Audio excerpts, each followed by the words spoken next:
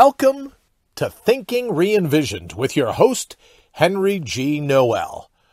I guess you could say he's standing conventional wisdom on its head. Here's Henry. Good evening, everyone, and welcome to Transitional Radio, home of Brian Brody's Mortal Up and All Natural Being on Sunday through Thursday from 8 to 8.30 p.m. Eastern Standard Time. IPM Nation Sneak Speaks, Sundays from 7 to 8 o'clock in the evening. And this, our 19th episode of Thinking Re-envisioned. My name is Henry Noel, and I am your host. Thinking Re-envisioned, we're here to make you think. We're here to make you question. Question everything. I wish to thank you for joining me on this Thursday evening for Thinking Re-envisioned. We are, you know, where we will be uh, talking about lies, our acceptance of lies, and who is really at fault. So we are broadcasting live this evening from our uplink studio in Cuenca, Ecuador, uh, two degrees uh, south of the equator. And we are actually broadcasting live on IPMNation.com and Thinking Re-envisioned's Facebook page this evening. And so this will be perfect. I wish to thank you all, all the listeners from all over the globe listening on live radio and those listening to our rebroadcasts and all of you guys that are, are on our fly on the wall video listeners here that on Facebook. So it's great to have you listening and thanks for joining us.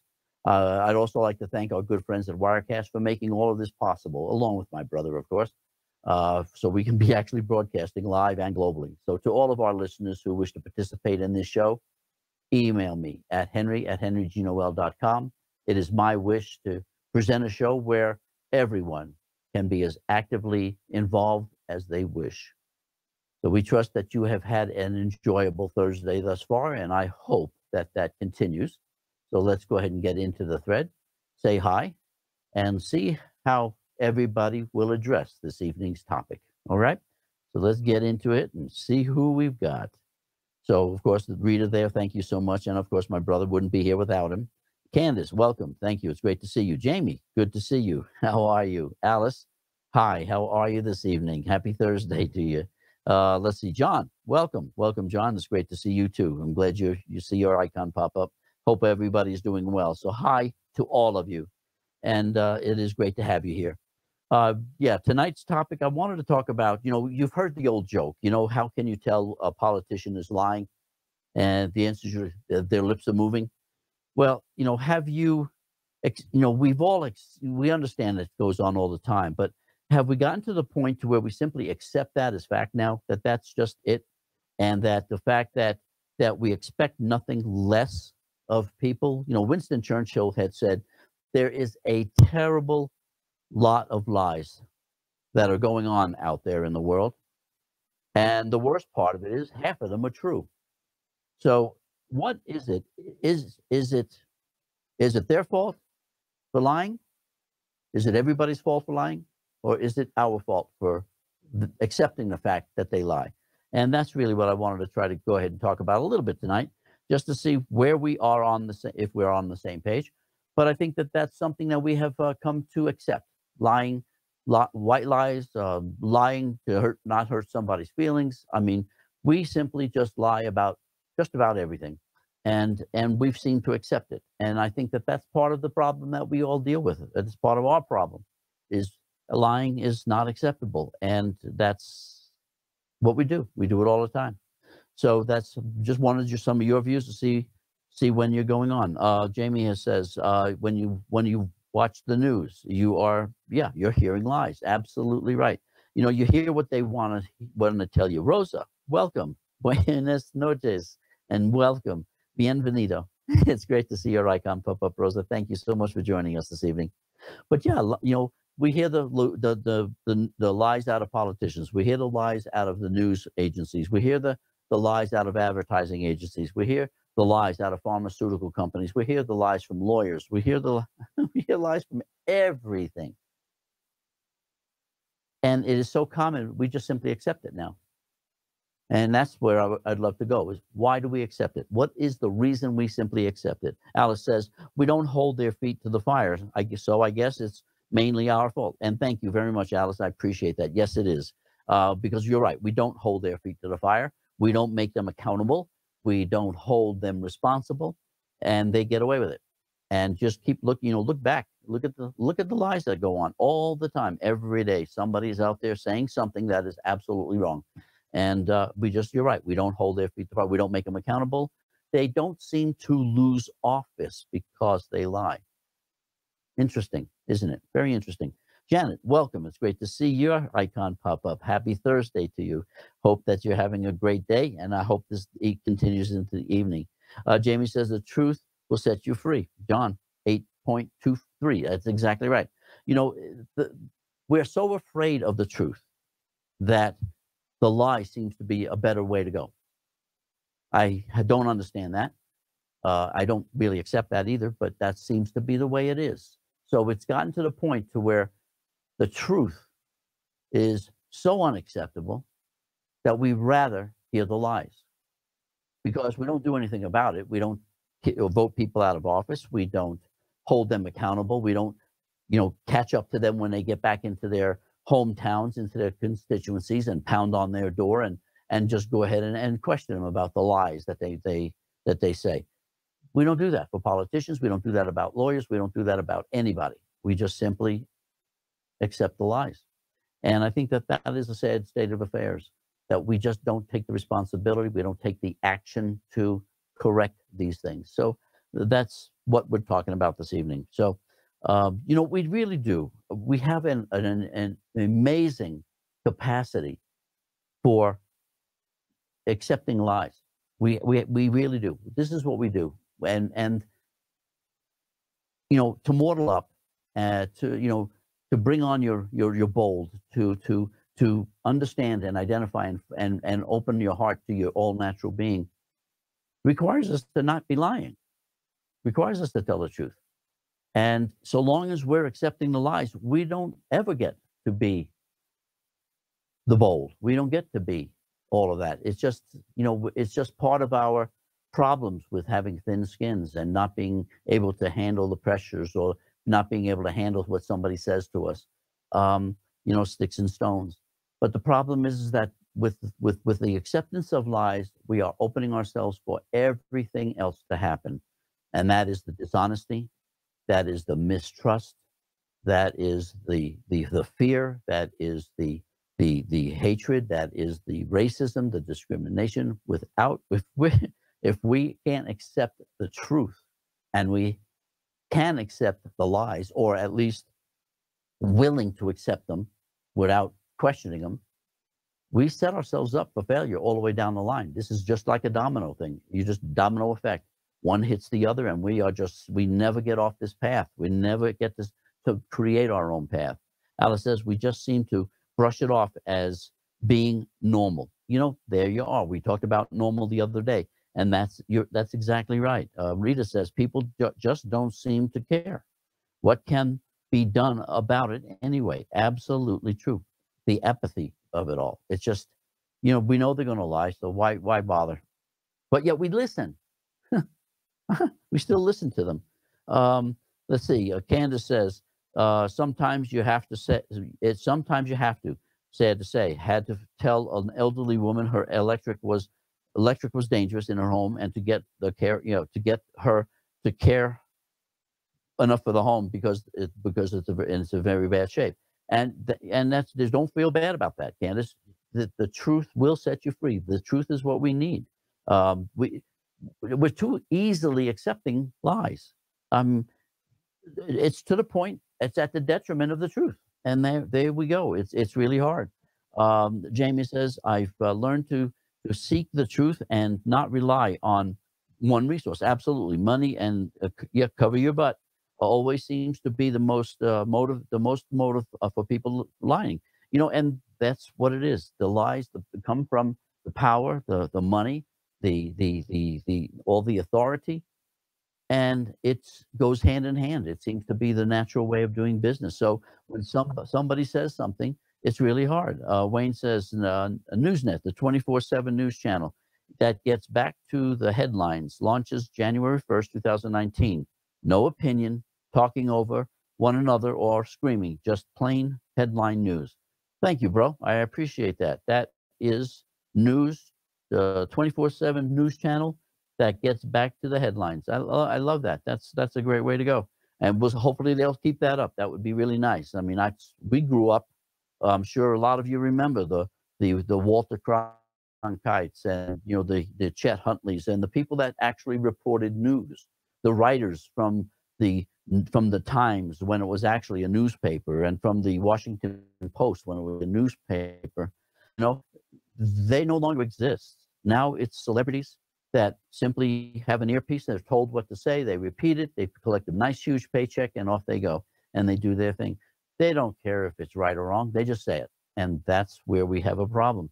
So when you have celebrities um, giving you the news or their slant on it, uh, without ever investigating anything. There's no investigative reporting anymore.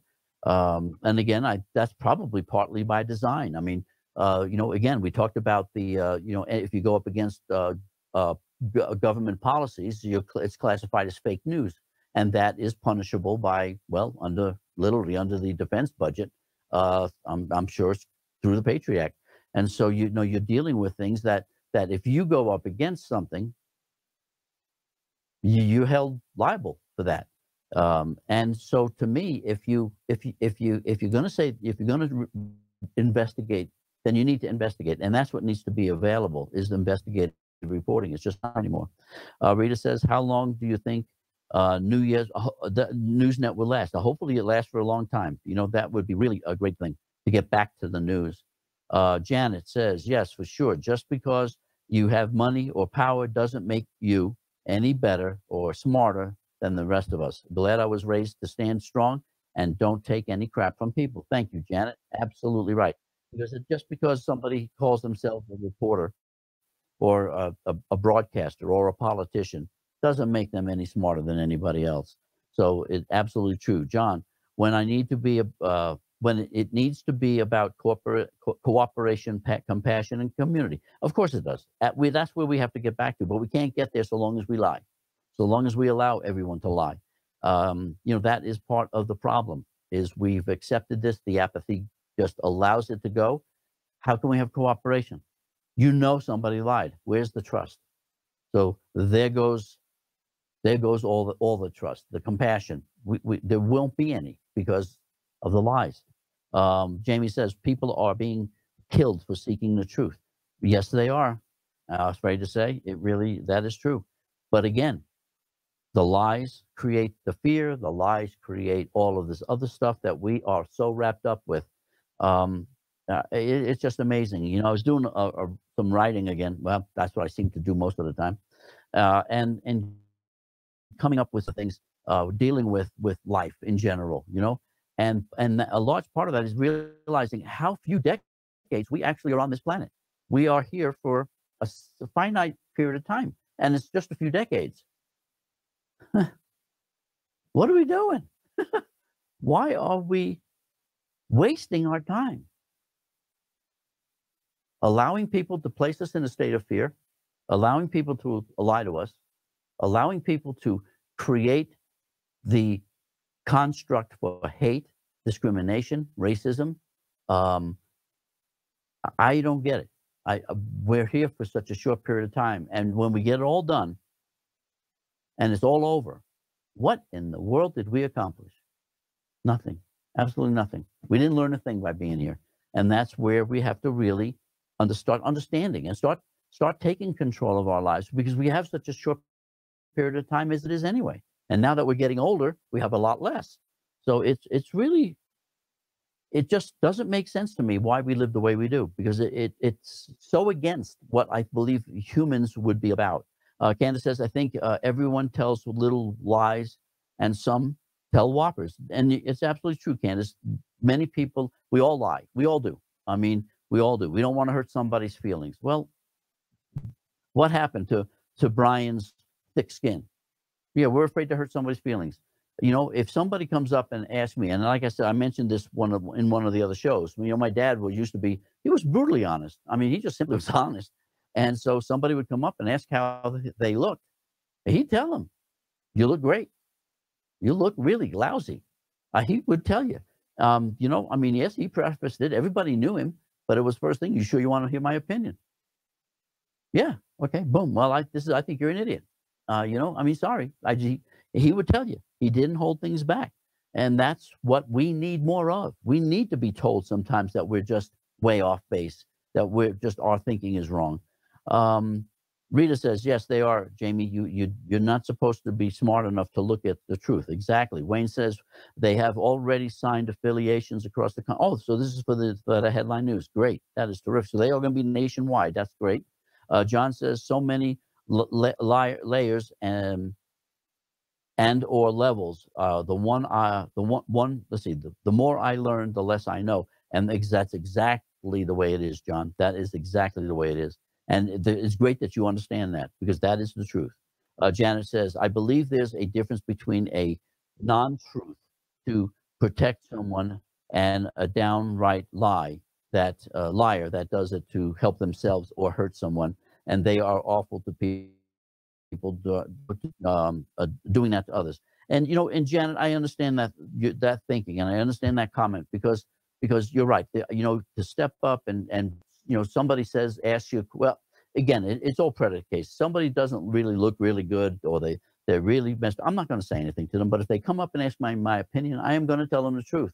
And the reason I'm going to tell them the truth is so that they understand what the truth is and then they can go ahead, at least in my my view, as, as the way I'm seeing things. So I don't have any problems telling people the truth. I'm not going to sit here and give little white lies because little white lies tend to lead us down the road to bigger white lies that end up going into even bigger white lies, and then now we're downright lying.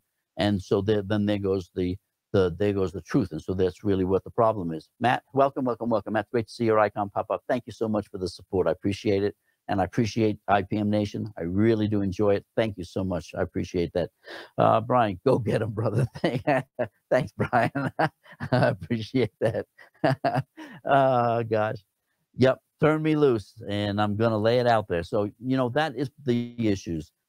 If we if we can accept the little white lie, well, then we can accept a little bit bigger lie. And if we can accept that, I think we've already shown we accept the great big lies um, because that's the progression of how things are. When you first start off, you know, in living this life, you know, you we don't do this. We don't we don't really want the lies. We really want to be, you know, we want to know the facts and know the truth. So we so and we're told that. Then as we start to grow up, we start getting these little lies.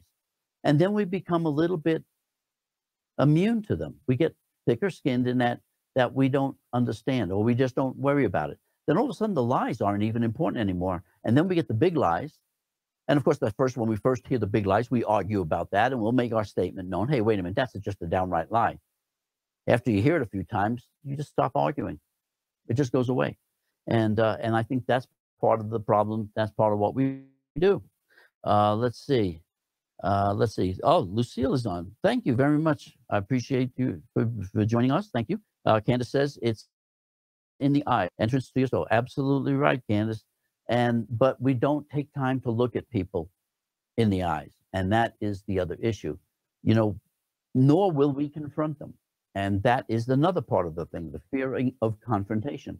You know, so so you you're talking to a, a friend who who you know you you they you, they've done something wrong absolutely deny that they've done anything wrong and they they'll lie right to your face. And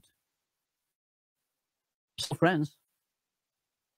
Where do we start to draw the line? I mean uh, uh, people allow that's our responsibility to stop that. It's ours to not accept that anymore. And sometimes it's hard to make those kind of decisions. But if i can't trust somebody i'm not going to hang around with them. I mean I, I it's that's illogical. Why place myself in a position with a 50 year friend and they do something that destroys that trust or they've been doing things small things lying along the way or spewing out their the venom that they they, they believe. I, I'm not. I'll destroy that friendship. I won't. I won't sit there and, and accept that because it's that's not the way we're supposed to be. We simply find excuses to not hurt somebody's feelings or not for us to not get hurt. And I think that that's wrong. I think we really need to do the right things, and that would and lying is one of them. I mean, again, if if part of this whole cycle, this whole process of being able to change, to understand better about the world and where it's going in, honesty comes on number one on that list. Where is accepting someone's lies being honest? We're sure not being honest to them. We certainly aren't being honest to ourselves. And we actually matter. So these things walk hand in hand with each other. And like I say, they're so interwoven with each other, they that create the fabric of our lives. So why would we accept this, a lie, if our whole objective is to be honest? It's I, I, it's it's almost condescending. So we can't be honest if we're accepting lies. If we can't be honest, then odds are we're not eliminating the fear. And odds are we're not eliminating the hate. And the odds are we're not um, eliminating the racism and the the the the, the uh, all that all of the discontent, uh, the discrimination, all of the things that we need to work on as humans, all the things that we need to do to make our life enjoyable, stripping away all of these shrouds of unhappiness. We're never going to do that if we can't be honest. So, this is where I'm coming from. This is where I'm trying to go with a lot of this is that we are we're shooting ourselves in the foot. We are defeating our whole purpose. We want to change. We want to see the world to be more love in the world. We want to see the world to be happier. How the heck can we have that if we are not telling the truth? If we're not being honest? We can't have that. It's impossible to have that. So, food for thought, something to ponder. And and like I said, and if you have questions about this stuff, write me. I'll be more than happy to to to reply to you.